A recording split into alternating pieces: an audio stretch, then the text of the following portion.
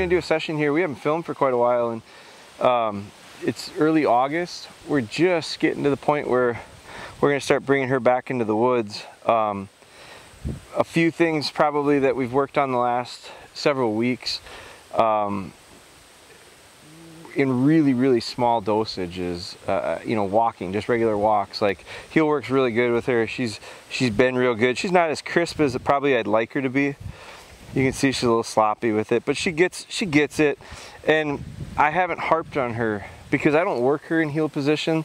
Um, I'm finding that yes I want her to be understanding of heel. I don't want her pulling. She walks on lead really well. She actually works probably a little bit better off lead um, than on lead. To be honest with you my confidence with her she she gets she gets out a little bit on lead and I end up bumping her bumping her bumping her but heel. But I I feel like I can walk her around off lead probably better at, come on. It's not as crisp, it's not as perfect, but I don't think she's going anywhere. Like I just, I have a lot of confidence with her walking off lead. So I've been doing that more often. Uh, what I'm gonna work on today and show you is something that I have been doing a little bit with her on. And I'm still kind of kicking it around the sequence in my head because, it, and so I'm gonna, we're gonna talk about some whoa stuff because I just ran the numbers on it. So she was eight weeks January 2nd. So February, March, April, May, June, July 2nd, she would have been eight months. Yeah.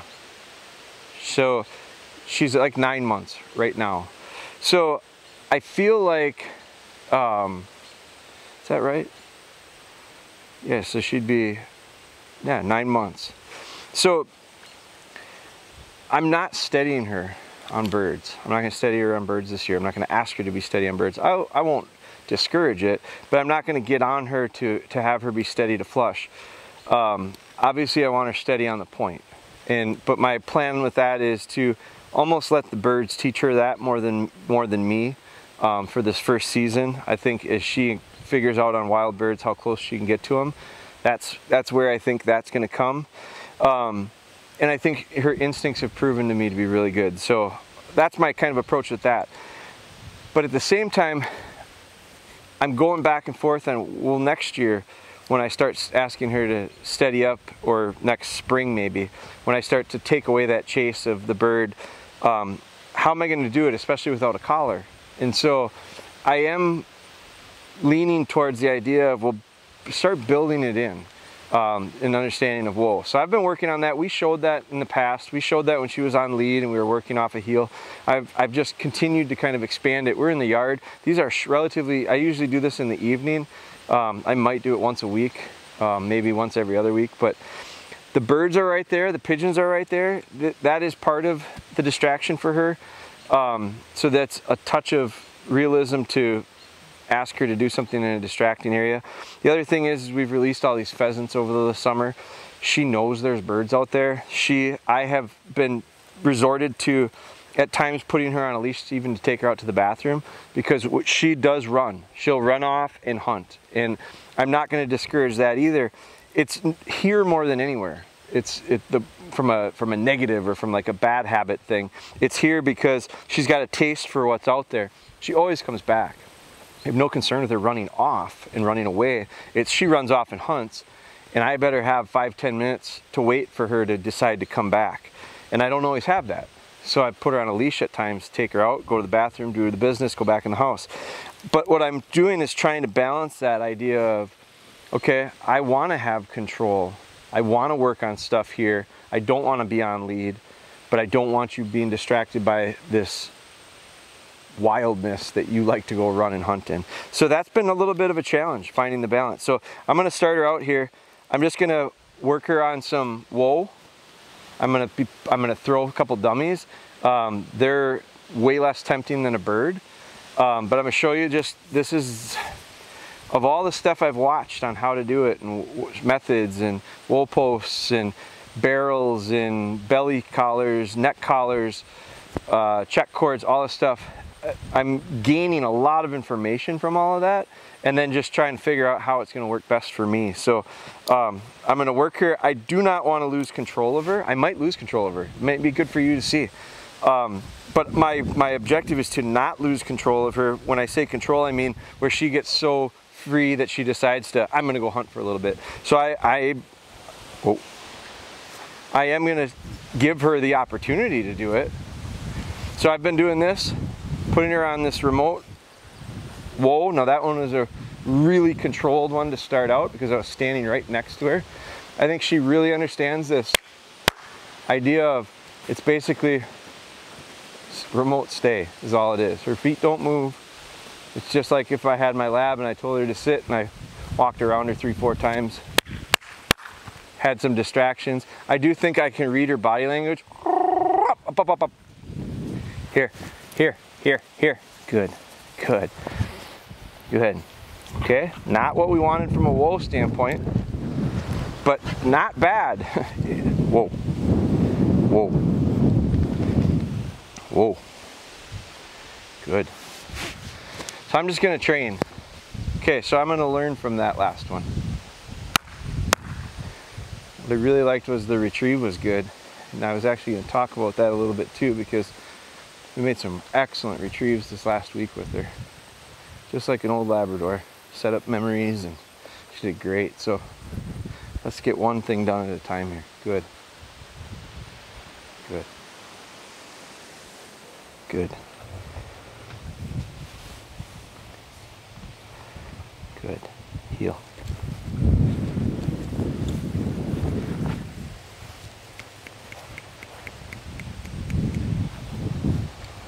Whoa.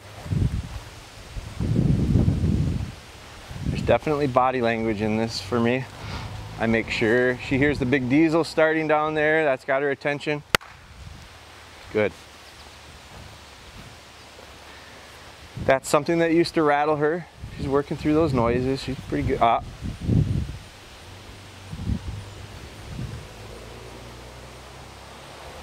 Good. Again, what am I trying to accomplish? I want her to understand when I say whoa, it means freeze, my feet. I don't care if she looks, swings her head, and but she can't move those feet. I think when the time comes that there's something to have attention on, her head will probably be on it. Heel, heel, good. I'm gonna have her work at my pace.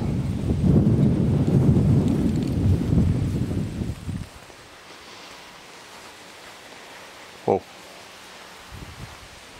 I don't want to change my speed there. I've, that was pretty good because my speed, I turned, but my speed didn't change that much. Here, here, whoa, whoa. Good. Good. I'm reading her to see how focused she stays because those birds just had her attention. Good. And this is like total yard work. Not, not a lot of pressure. You heard me get a little more intense with my command. I amped that up a little bit to stop her. Good. Good. I'm gonna call her away from the birds and see if that helps me a little bit. Whoa. I gotta be careful when I come in on her so I don't put too much pressure on her to move her. So I turn a little bit and back in. Good. Good. Heel. Heel. Whoa. Whoa. Good. Good. Here, here, here, here. Come on, come on. Da da da da da da da. Come on, come on, come on, come on. Here, here, here, here, here, here, here. Good, good. Whoa. Good. Distracted.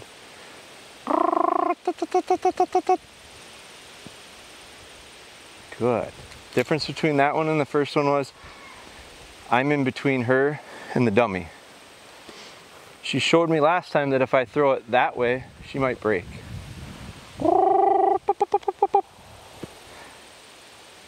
Good. If she were to break, I'd be in between her and I'd pick her up, I'd cut her off, I'd say no, no, no, and I'd put her back. Good.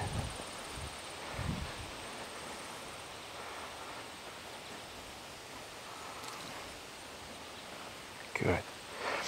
So I just, my whole point with it is to try to get this understanding about what behavior whoa actually is. And that's just stop, stand still.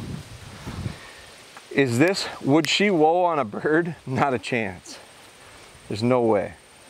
But what I'm trying to do is prep her to make it an easier transition when there is a high distraction like a bird. And I, my hope with it is, is it prevents me from having to put too much pressure on, i.e. a collar heel. Because I don't, I don't plan on doing that. Good. Come on. Whoa. I get a little enthusiasm in there. Good.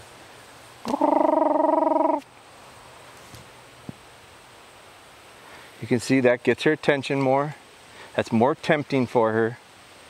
You knew you saw before how tempting it could be. Too tempting for her to resist that last one, but boy, it was beautiful how she picked up, brought it right back to me. Very nice. Here's that point where you get too close and you put a little bit too much pressure on it and you see her move. Oh. Good.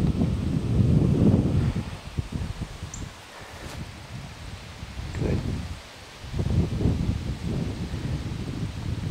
Good. Heel. Heel. Now we're going to take a little walk over here by these birds and you'll see her body language changes, everything about her intensifies. We're going over to the area where she gets to run. This is where I release her to run. This is very tempting to her. You notice I'm using that collar from the adjustable leader. I think that gives me an extra level of control. She feels the weight of that collar and thinks that I have her to a degree. Heel.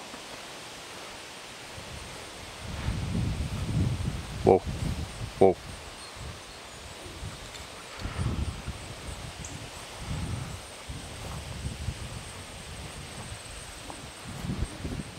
Whoa, whoa, whoa, whoa.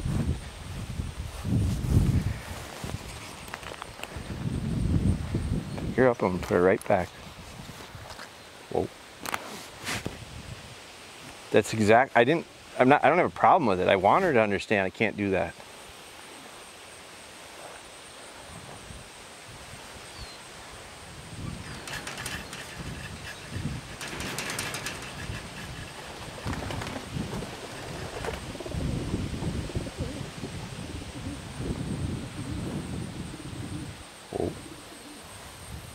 Good.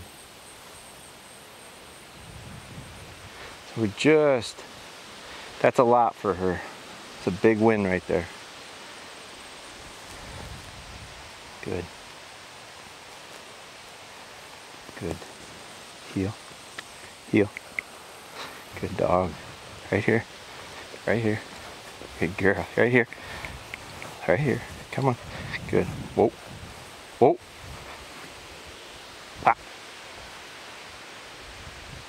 Good. I'm gonna call her to me one more time. Here, right here. Come on. Come here. Come here. I want her all the way to me. Come on. Come on. Come on. Come on. Come on. Let's go. Come on. Let's go. Here. Whoa. Right here. Right here. Right here. Good. I could see there's, we're really close to her getting to the point where she's going, oh man, I'm going for it. I'm just gonna run. Heel. I don't know if I mind you seeing that, because it does happen. I don't like to push her to that point. Ah, ah, ah.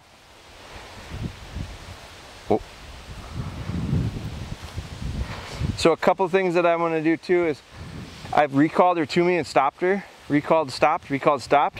I think you got to balance that out with recall all the way into. No different than my lab. I don't want them getting sticky. Makina, Makina here. Good. Good. Right here, right here, right here. There's where she's showing me a little bit of, oh my gosh, I really want to just go.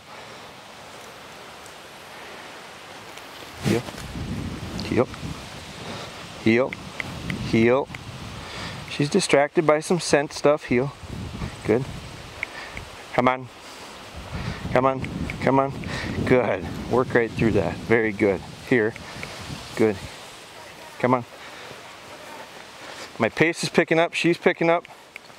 We're almost pushing her to a point where she's just gonna lose the control and then we'll ramp it back down. Come on, come on, come on, come on, come on. Good. Oh, oh, oh.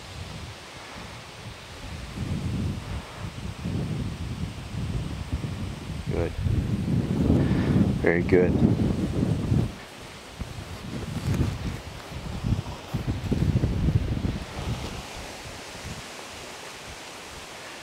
That a girl.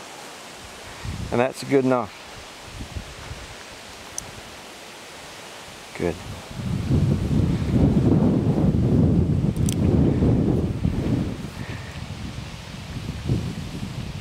Really nice session. I'm gonna try, normally I wouldn't, but because we're here, we got the cameras and stuff. Just wanna show you guys, see if we can't do a little nice little retrieve. It could really, could be really a dumb move because I'll just say this. Normally I say we're done. Put the dog up. Like that's a real nice win there. There's a nice little, nice little short session with good control. Um, I'm going to show you, we worked on these memories the other day at the cabin.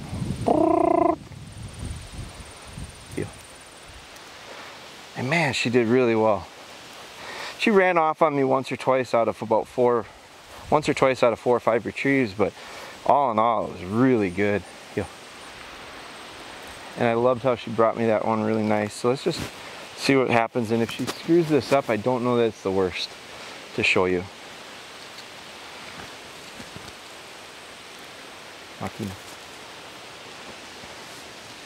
Good girl. As a good dog. Right here. Right here. Ah, that, that, that, that, that. Come on. Good dog. Come here. Here, here, here, here, here. Here. Let's go. Let's go. Come on. Atta girl. Come on. Atta girl. Come on. There. Good dog. Right here. Here. Here. Here. Come on. Come on. Hey, hey. Come on. Be ready to move, guys. We're going to go down the driveway.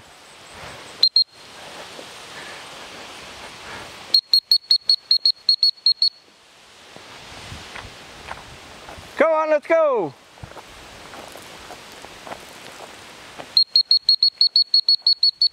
Let's go. Come on. Wouldn't surprise me if she came back without the dummy. Yo, come on, let's go.